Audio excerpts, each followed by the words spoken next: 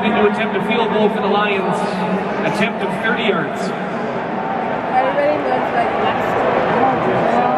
I don't think it's bad, I don't want to talk about it. Field goal is good. The score, Lions 3, Red Blacks nothing.